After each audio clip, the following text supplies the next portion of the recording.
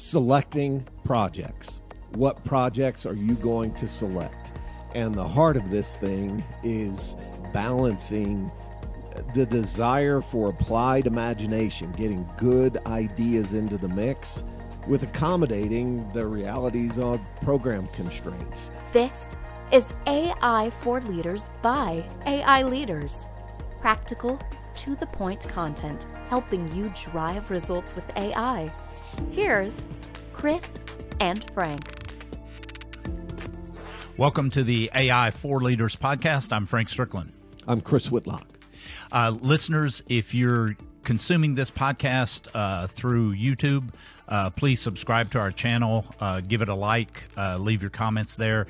Uh, if you're listening on Apple or Spotify or wherever you get your podcasts, please rate and review us. Those things help to get the word out across the national security enterprise, which increases the impact. So we appreciate your contribution in that.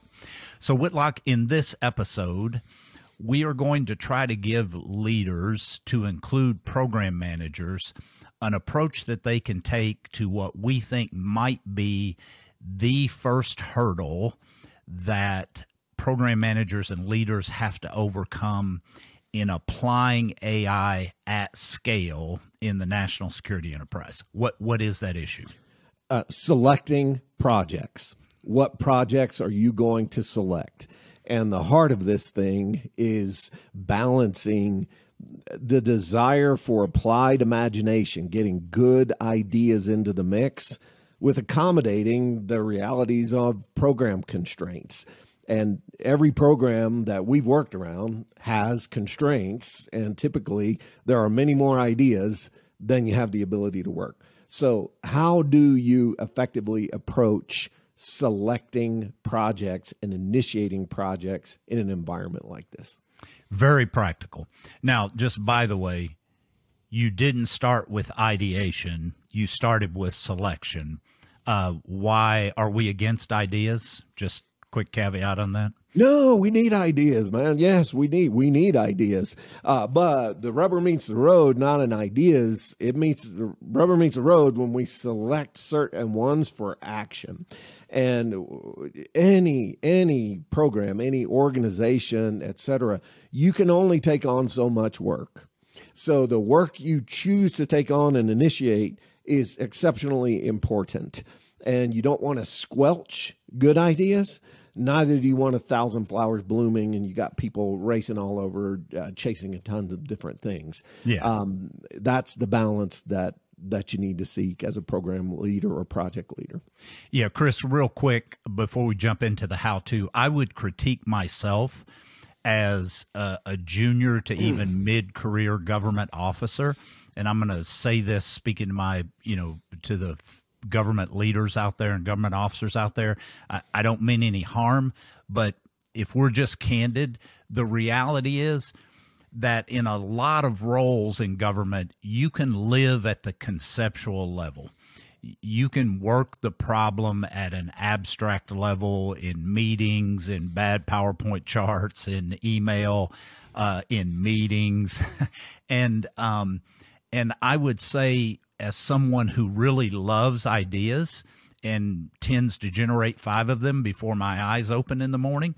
Um, I, as a junior and even mid career government leader, I, I, generated a lot of ideas.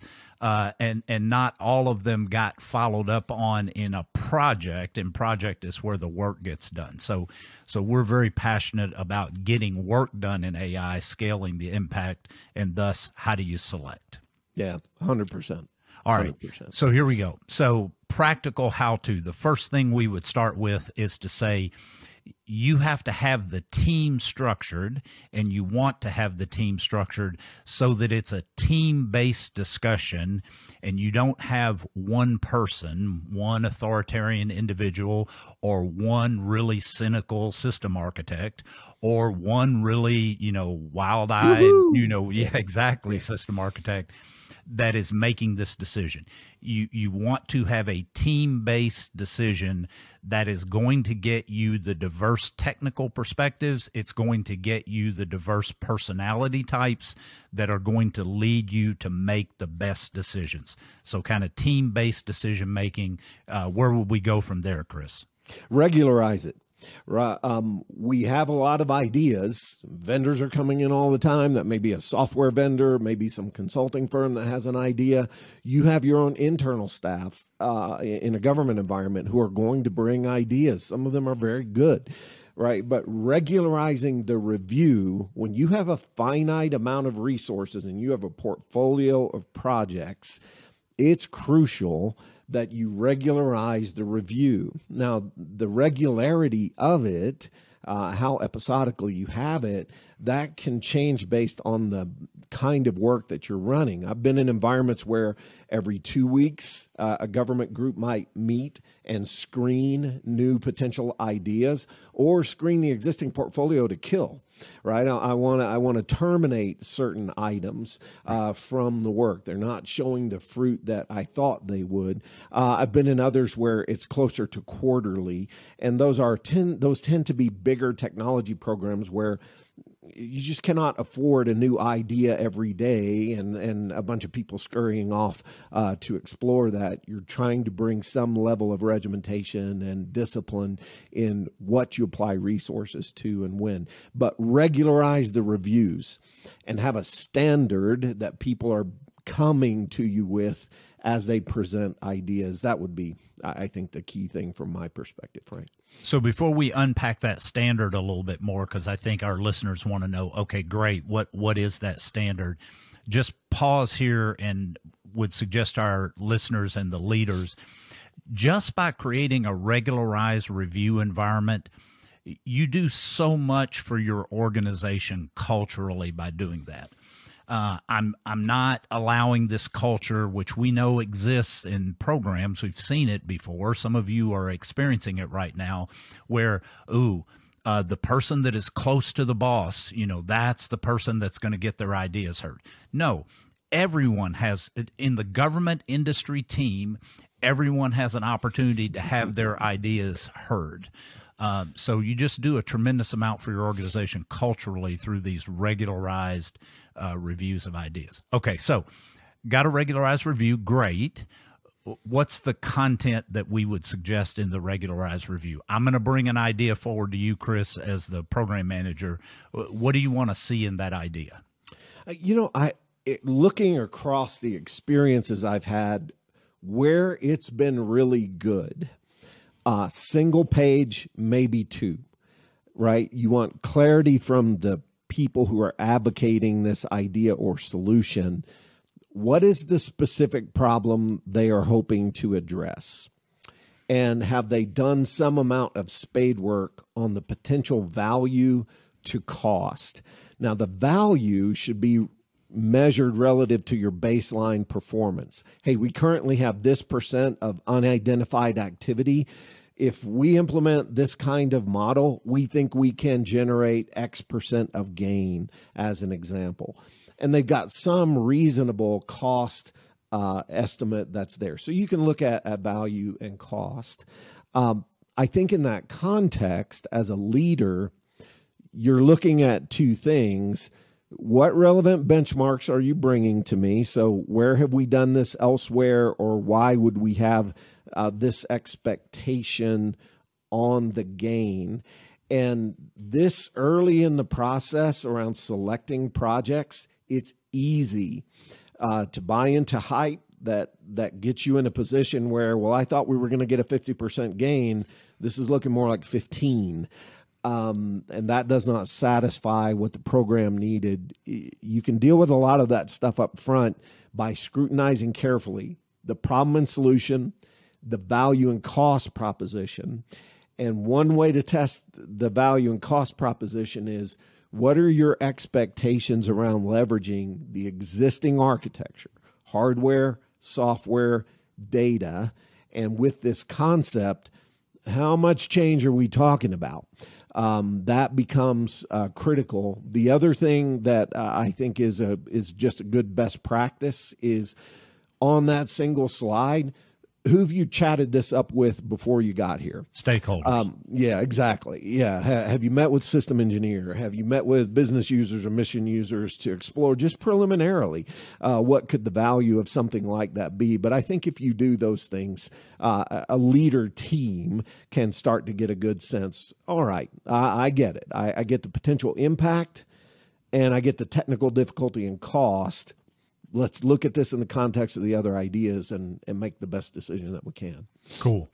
So, Chris, those elements that you just cited, they imply that a program has some regularized performance assessment function where they are looking at performance in a data driven way and identifying areas where they think AI might help them to get lift. In the book and in the online courses, we go through a set of projects. You're going to come out of the regularized review if you approve something for starting as a project. It's going to go to a project. And we would say not all projects are of the same type. In fact, we've said we think there are four project types. And so that's there in the book and or in the online courses. But you implied one of them, which is a regularized performance assessment function that helps you to get that data driven sense of where you might get lift. Right, right. And it's it's important when we select projects that we have some sense of the potential gain. Well, if I don't know where I am, uh, how do I judge the potential gain? And it's it's easy to waste resources. And yeah. if you start with this basic notion, every program environment, every office is constrained in resources. We cannot in an unfettered way initiate new tasks and new ideas, well established understandings in organizational performance. The more that crap we proliferate, the longer each one is going to take and the lower the likelihood they're going to get to the goal line. So, eh, this selection process and then winnowing the portfolio of projects over time is really crucial for a leader. And then finding balance. Yes, I want imaginative ideas but they need to be realistic. In the context of the current architecture, in the context of what you have to work with, can I balance those realistically? And that balance, Chris, we're showing here we have written about axioms and leader practices and cases. If you just look at the chromosomal level of of what's in our book and what's in the courses that we teach for AI leaders, axioms, leader practices, and case examples. And there are 37 axioms. This is the first one. We've tried to make them all memorable. This one gets at that balance that you were just talking about. We call it the neither Tigger nor Eeyore.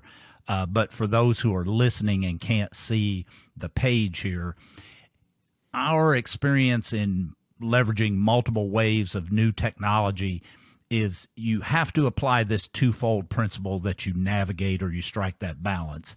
And the first is that you want capabilities or ideas for capabilities to be contextualized to actual mission tasks. Yes. That specificity you were talking about with the performance data, with the architectural data, with the data that is available for model training, et cetera. But conversely, you don't want an environment that is so anti imagination or anti ideas for whatever reason that you impede the development of breakthrough applications. And AI has some potential to create some breakthrough applications, right? It does. And I, I think one thing leaders can do in programs, in PEOs, uh, different levels is how much innovation am I looking to see as far as a resource allocation? right? If you know, an extreme example would be I'm 100% O and M. Uh, I'm I'm operating. I'm making donuts. I, I don't have any money applied to innovation. But the flip side is I'm, and maybe I, I, am a research organization. Everything I am doing or close to is something innovation oriented. I think most are going to have some blend, and the project selection activity becomes really important. And it's important even in the innovation only environments, right? You're going to have more ideas for research and uh, curiosities than you're going to have resources to do. And putting time on that and balancing this Tigger, this kind of enthusiastic uh, perspective on everything with the super conservative uh, that's what we have to do as leaders in order to get to a good portfolio that will give us yield, that will give us gains in in core performance in the systems. Awesome. So, um, Chris, this goes directly to a free offer that that we want to give uh, to our listeners. Project where the work gets done uh, we have written and we teach about uh, leading AI projects to include leading the data science process. And we've looked at the practices and the processes for AI projects. And in doing that, we found that there's a gap, there's a risk in what's published out there in AI project processes. And so we have a short paper uh, that identifies that risk and can help leaders mitigate that risk. If you go to our website, aileaders.com, there's a download right there on the front on the home page. And that paper is our gift to you uh, to help you mitigate that risk in your process implementation, in your prog- uh, pros- project implementation. Easy for me to say. Uh, thanks to all of you all for listening. Again, uh, subscribe on YouTube, uh, like uh, this episode, share it with colleagues, uh, rate and review us on Apple and Spotify. Will really help to get the word out. We believe there need to be tens of thousands of leaders rapidly equipped across the national security enterprise to integrate AI into major programs and to deliver results through AI projects. And by rating, reviewing, subscribing, you really help us get this word out. Uh, contact us through our website, aileaders.com. There's a contact button there. Tell us what topics you'd like us to address in subsequent podcast episodes. Give us any feedback. We'd love to hear from you. And until then, appreciate you, my friends. Indeed.